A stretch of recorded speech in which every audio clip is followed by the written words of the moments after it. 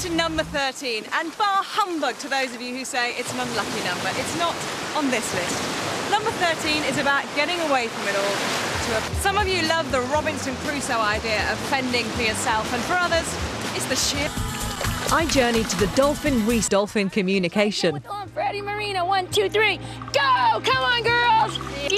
Swimming with them, they can use that echolocation on you and find out lots of things about you by sonaring your whole body. I was pregnant and I didn't know it one time. I went swimming with them and the dolphins were buzzing my belly like crazy. I went to the doctor a week later and they knew. So that's how amazing that sonar is. They're way ahead of us. They understand far more of our language than we understand of theirs too.